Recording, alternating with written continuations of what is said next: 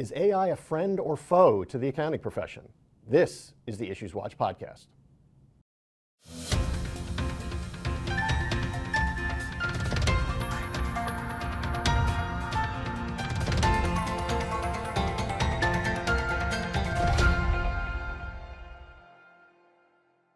Hi, I'm Don Meyer, Chief Marketing Officer at the New Jersey Society of CPAs, and welcome to the Issues Watch podcast.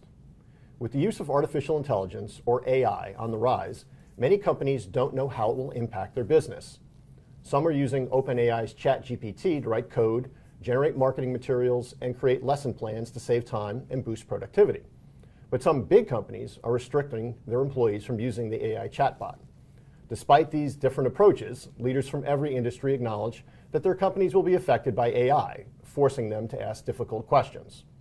Here with me to provide some answers to those questions is Leon Grassi, Chief Marketing Officer and Head of Business Development at Parsippany based Sax LLP. Leon has nearly 20 years of experience in the marketing and business development profession, having worked in the media, publishing, consumer electronics, IT, and accounting sectors. Welcome, Leon.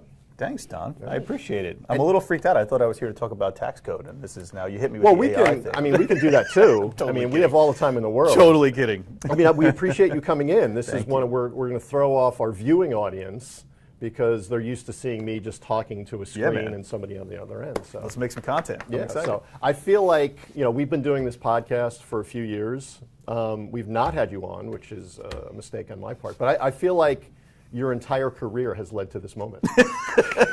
oh, no pressure. Yeah. Uh, yeah, that's pretty accurate. I think it's uh, it, it's been a, a long journey to this point, Don. It has, but we've known we've known each other a long time. We have, yes, All sir. right, all right. So let's let's jump in. So I mentioned in the opening that some companies are hiring employees with ChatGPT expertise, Hmm. but others, some big companies, uh, I looked up earlier, Amazon, Yeah. J.P. Morgan Chase, um, Apple, like companies you would think would be jumping into AI, they're actually putting the brakes on integrating AI into their employees' workflows. So why do you think that is? You know, um, I- think if I look at big organizations that are very heavily driven by public perception, uh, compliance, security, safety, uh, general, um, you know, they have more PR concerns, right? and I think that because of all of the unknowns, I mean, let's be honest, I, I'm by no means, I'm, I'm not an AI expert. I should probably establish that right off the bat. Who is? Uh, right. I mean, no, I don't. There aren't many, and you know, the reality for me is I, I happen to be very passionate about um, automation, artificial intelligence, just technology in general. Um, and a little bit, you know, jokingly to your point, I have spent a career essentially building that that passion and that knowledge base. So, so having said that, I want to establish I am not an expert. My opinion, I, I I think, is is because we are so early on in the evolution and the process of artificial intelligence, automation, et cetera, I think companies like that just by design have to be a little bit more, you know, reticent. Yeah, they have to pump the brakes because the, the reality right now is there is very little, if any, oversight at all. Um, you know, that oversight right now that exists is basically self-governed by the people who created AI in the first place. So there, there, there isn't a, a governing body, there aren't rules and regulations in place yet, and I think that's probably one of the primary areas of concern for a lot of those large organizations. Now, having said that, to say that their employees and and, you know and, and people associated with them aren't towing those waters in AI at, already is probably a foolish step. I mean, I guarantee they are. Um, having said that, I, I think they you know they're covering themselves, and, and it really at, at the large company level, it's not about a lack of education. I think they're exactly opposite. I think they have a lot of education around the subject matter because they have experts that they can say, hey, you know, go. They've they've already sent their IT teams and their risk management teams to the field and said, do the homework. Right. Right. So you know, we really should be taking their lead. Conversely, a lot of smaller organizations that don't have that level of complexity in risk management and, and IT operations, et cetera, you know, are more willing to experiment. Right. And maybe that's a good thing. Maybe it's a bad thing. We don't know yet. Well, the profession that we both work in has a lot in common. You mentioned, you know, uh, Apple and other companies being Yeah. cautious and wanting to be careful and so forth. I mean, that's that's right up accounting's alley. because, I mean, it was built on a foundation of being cautious and very careful true. and so forth. So, it's very true. Um, and I should, you know, you, you say you're not an expert in AI, but what we're going to discuss today is not so much the technical aspects of it. Yeah. I had done a, a podcast with um, one of our board members, Dr. Sean Stein Smith, a while back where he talked about more the kind of the technology because it was brand new and kind of explaining it. What we want to talk about is really like how do you use it? Right. Like how can accounting firms, how can uh, companies and individuals use it? Agreed. So, um, what are the expectations and the risks associated with AI from a from a user standpoint, from a company standpoint? The risks are many. I, I, I, I think before I even go down that path, let me let me caveat and take a brief step back, which is we are bare, ChatGPT is the overbearing, popular right tool right now in the marketplace, and that's what's really spurned this whole idea and notion of artificial intelligence. While in reality, ChatGPT really isn't AI, right? So, and you know, strike me down for saying that, like it's it's it's natural language processing. So, as a tool, it is basically it, it's it it functions based on a defined set of rules, right, that it has been given. So, is there an intelligence layer to ChatGPT? Yes. Is it artificially intelligent yet? The answer really is no, right? If I'm being super techie. Right. Um, having said that, it, it is opening up, right? ChatGPT is, is opening up the idea, the concept of artificial intelligence and what that will um, become, right, as the world continues. And, and you can't put that cat back in the bag, right? right. So it's out now. So um, so that's my caveat, right, to to to the the following statement. I think that what we're seeing is um, there are great risks associated with leveraging uh, an unchecked tool in the marketplace. Anything new, there's going to be some concern around. Mm-hmm. Um, what people are going to use it for. I, I, you know, I've said to my staff repeatedly that I, I don't it's probably unfair for me to expect you not to explore this solution because it really can be a very valuable tool, and we'll get into that through conversation. It can be a very valuable tool for all of us in the industry, but I think we have to be a little bit cautious about how um, how free we're allowing people to be with the data and the information that they are gathering through the tool. Um, you know, I, I, I, it is a, it is a when I say it, I'm still referring largely to ChatGPT because it is the, the, like I said before, the predominant tool that's being leveraged under the guise of artificial intelligence. I think that it's really important that leaders of organizations such as ours in the professional services space, which has always been very resistant to change, oh, yeah. right? You kind of referenced that. Um, I think it's important that we do our homework, we do our diligence, and more than anything else, we make sure that our team is leveraging the tools under some guidelines that we impose. So, you know, my call to action, Don, and if anybody takes anything from this podcast today, I think really it's to put some sort of a uh, general use policy in place as part of your uh, employee handbook corporate structure around the use of artificial intelligence. Right. right? And it can be fairly generic. Um, it can be, listen, you know, we're not saying don't use the tool. What we're saying is don't uh, enter any client data mm. into said tool, right? right.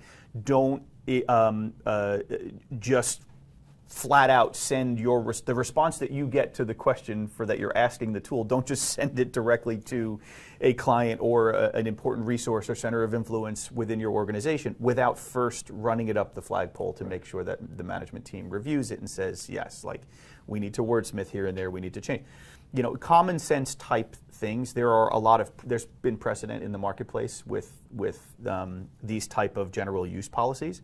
They're available online. You can actually ask ChatGPT to write you a general use policy for using ChatGPT, which right. is hilarious. But it will give you in less than eight seconds a very, very good start mm-hmm. at a general use policy that you can then share with your team. I, I strongly encourage that because, again, there are risks associated with the tool, and that's a really low hanging fruit way of right, of, of sort of right. satisfying or at least curbing some of those concerns associated with the risk. At least that's what I think in the short term. Yeah, and I think what you said uh, about a minute ago about it provides a good start. 100%. Because I think one thing we should we should definitely emphasize to everybody who's either using ChatGPT or a similar tool or is thinking about using it is it makes mistakes. It's been wrong, and I, I found it interesting the last couple of days. Um, I went to post something on LinkedIn and an AI tool comes up and says, "Oh, do you want AI basically to start this post for you?" We're at we're at the precipice of a major proliferation of artificial intelligence in the general landscape of our day-to-day professional activities. By the way, don't try to say that three times fast. I don't even know how I just got that out. Um, but, but, you know, I, I think that this is this is where things start to take a turn, and I think you know you saw the value, and I think a lot of people will start to see the value that that this this AI uh, will bring to us as we engage in a professional capacity. And, and you know, my again, let's take this back to the professional services landscape, specifically accounting. You know, the legal profession, very a lot of similarities there. I think that there's going to be two types of employees as as we move forward. There's going to be the ones that have genuinely embraced artificial intelligence, which will enable them to be let's just call it what it is, much more efficient and effective, mm-hmm. right, as a professional. And then there are those who will be resistant to it.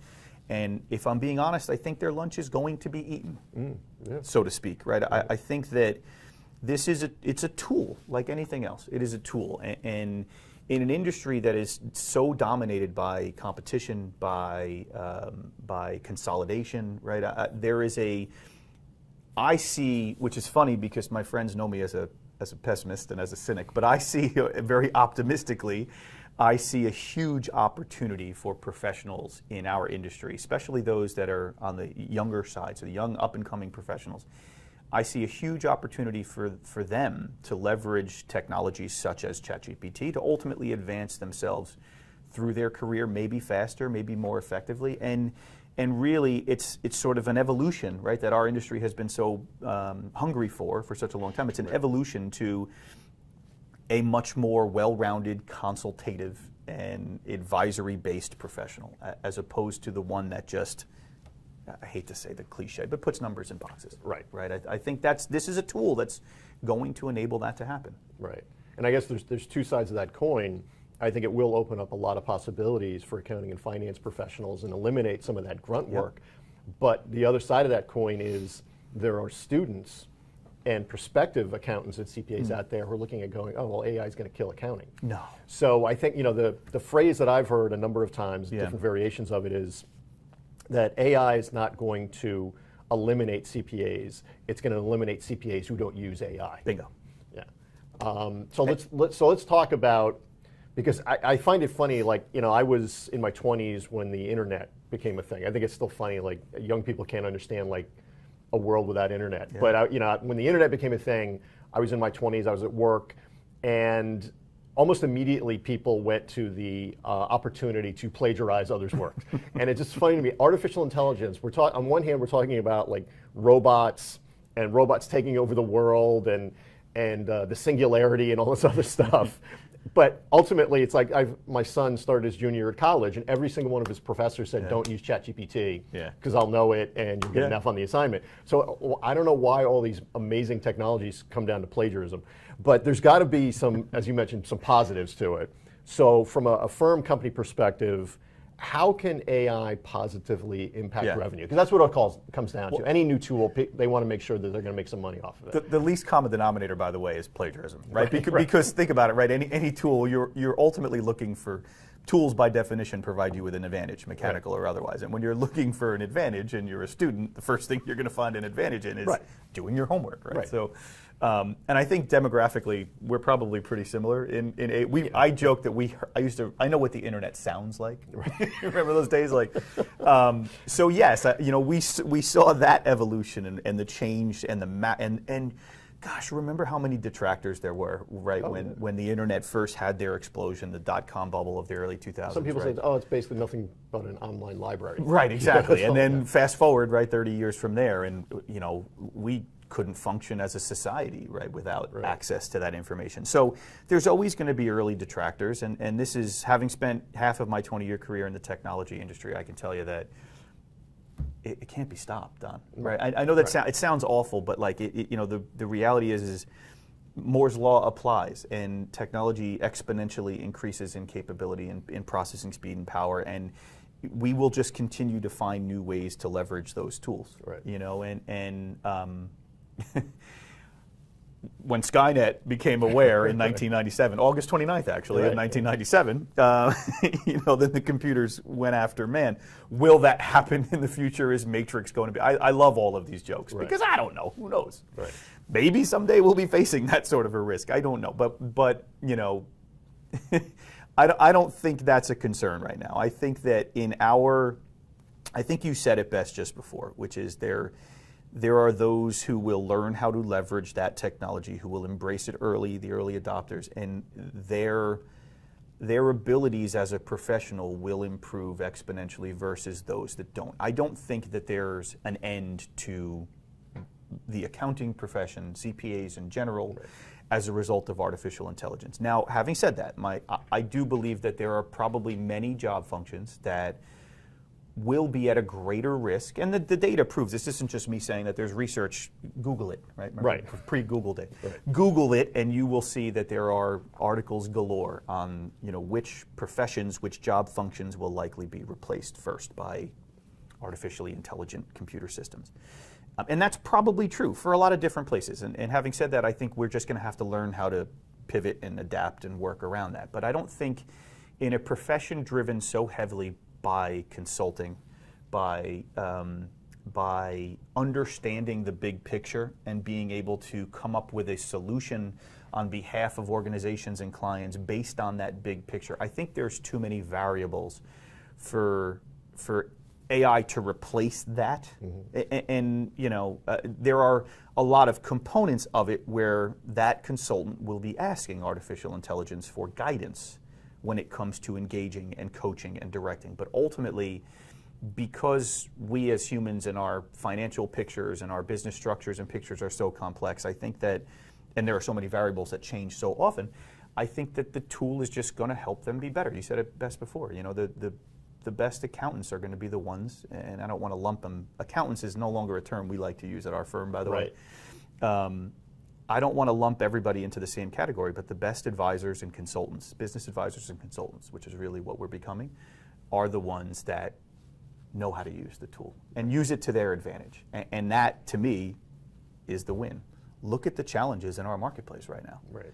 Right? We are being forced to do a lot more with a lot less. Right. And it's harder and harder to find resources. And so I think that this, the outcome of this is going to be very positive in two ways. One, we will be able to do more with less because the technology will, in some cases, make it make our existing staff and team much more effective and efficient at what they do. But then the other side of that token is I think that as an industry that embraces technology such as this, we are going to open ourselves up to an influx of new young professionals that maybe wouldn't have paid attention before. Right. Right? Is that, you know, we joke, which it's how do you make accounting sexy? Right? Well, this is this is absolutely a start. If as an industry we come to embrace the advancements in artificial intelligence, automation, and technology, we, we will become a much more appealing target for a whole new generation of tech-focused young professionals. Right. And that is going to flip the script for us. That's going to change the dynamic. So as we continue to evolve, we'll have, you know, we'll have less and less issues associated with staffing because that evolution is going to require non-traditional accounting professionals, and you know, Right, let's be a more appealing target for them. Right, and, and not just sexy and appealing, but relevant. A hundred You want to be yeah. relevant, you want to be timely, and you want people to know, you want students to know Right. that this job I'm going for is still going to exist in 10 years. Well, it's not only going to exist, it's going to be better Right. because of, of uh, artificial intelligence and other technologies. And if I may, so we, you know, ChatGPT is basically what we're talking about right, Right. now. Imagine when real AI actually Right. gets released, right? Like, Right. whoa, right? I mean, we're, uh, you know, I mean, ChatGPT could be the, the MySpace of the AI world. yeah. I mean, it's it's remember, it's a precursor, Right. And I, real artificial intelligence, which is you know, uh, disconnected, independent, not Right. not necessarily governed by the same natural language processing rules that are in place for ChatGPT. Whew, I can't I can't even begin to imagine what's going to happen when when we go down that path. And there are some very very large organizations, the Googles and Microsofts, that will be you know very well positioned and are going to be some of the first and second to market to bring those type of solutions. But I mean, we're not even really thinking about what that looks like yet, and I think that's going to be a dramatic change. So Yeah. hold me back when we're ready to when when real AI gets Well, that, released. could a, that could be in a couple of months. For all we it know, could yeah. be. It could Yeah. be. And then we can really get into it. Right. Because remember, the other thing about ChatGPT right now is the data is still in arrears, right? It's Right. still it's mm-hmm. still not up to date. It's a couple years old at Right, this point. right. And that's by design from the makers of the tool Right. because so much change happens on the internet that they don't they two-year-old data is probably at this point a little bit more Right. uh, level, right, and Right. static at this I mean, point. it's almost still like in a extended beta phase. Essentially, correct. So, so you know, there, so because of that change, there's a lot of concern about how up to date you want the data to be. So, what we tell the team is, hey, you know, use it to prepare for meetings. Use it in scenario-based situations, right? So, Right. you know, say you're sitting with a client and you're not entirely sure how to introduce them to one of the cross-sell services of your firm. Ask ChatGPT if you don't have a business development person on staff like we do. Ask ChatGPT, hey, how would you suggest that I handle this? And it'll give you a really good Yeah, yeah. response. And like, that's not client data. It's Right. not in any way uh, a detriment to, to you know the, the, the information you're delivering. It's just a it's giving you a little bit of coaching and guidance. So there's some really great ways to use the tool that are a lot less risky for the organization. And, and you know, so I think that's an important way to start. And then on the marketing side, Don, which is like our world, Right. You know, I tell my team all the time. I, I wrote a piece. Uh, I wrote a piece last week, right? I wrote a piece on corp- the Corporate Transparency Act, right? I put together just a quick 800 words on the corporate. I'm kidding. I didn't write it, but I asked ChatGPT Right. to write me a piece on how to educate my audience on the Corporate Transparency Act, and in four seconds, it gave me a really nice and concise definition. Now, I, I can't just throw that out and say, okay, we're good, Right. publish, right? So we, we wordsmithed it as a team. We did a little bit of research on the marketplace because it is old data and the Corporate Transparency Act has changed a lot over the last two years. Right. But it gave us the foundation of a marketing piece that we then sent to the head of our international tax team and had her review and she corrected, make some notes, adjustment. We went back and forth a few times and it's been posted. Yeah, I mean, we, we've dabbled in it. Um, I don't think we've actually published anything that was you know, strictly Yep. ChatGPT, but I think it's a good foundation. Um, what I have seen for anybody that decides to use Mm-hmm. ChatGPT for any type of marketing copy or PR copy or anything like that is, um, while the, the, the writing, the language is, Yeah. is fine, it's probably you know B, B minus level Yeah, level that's writing. fair. I think, to your point, is it lacks a level of specificity. It does. It doesn't personalize it, individualize it, um, and that's where it's missing. But yeah, it's it's very It's good for foundation stuff. Exactly, It yeah. gives you a really solid foundation to work from. We asked it to give us, we have a new uh, family office practice. Well, It's not a new practice, but a new practice lead at the firm. And we asked ChatGPT to help us to work on the elevator pitch for family office to the marketplace. Gave us a really great, uh, concise five bullet type response where these are the things you should focus on. I- again, it's, it's, it's, it's like asking a friend who has unlimited access to the internet to draft you a piece. They're going to do a pretty good job of it, and then you need to massage and tweak and adjust and wordsmith. Right.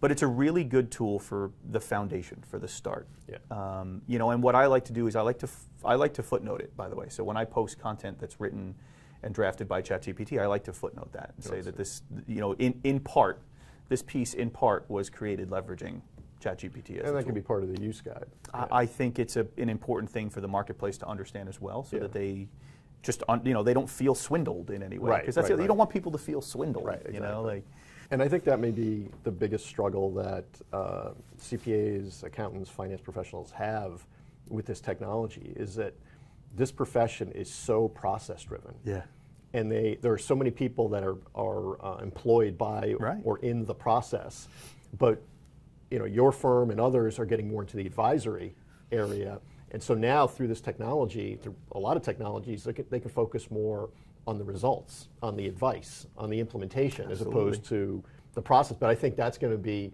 a hard nut to crack because is. it's it's it's because there's a lot of people into the profession. They don't like to let go. right, right, exactly, exactly. We don't have a choice anymore, Right. really. I mean, this that's why we're having this conversation today. It's why, you know, uh, Gartner's uh, marketing predictions for 2023, three of the five predictions for this this year into next year were all based on artificial intelligence automation. I mean, it's you know, the, the world knows that this is out of the box. Right, exactly. So All right. Well, we'll have to have you back in probably a few months or At this six rate, months, a year. yeah, yeah, yeah, yeah. Yeah. Um, hey, thanks for coming in. Thanks no, this is great, man. Really, really I- appreciate I- it. this is fun. I Thank appreciate you. it. I love Thank this you. stuff. Thanks for listening and watching. For articles, resources, and events about artificial intelligence and automation, visit njcpa.org/hub/ai.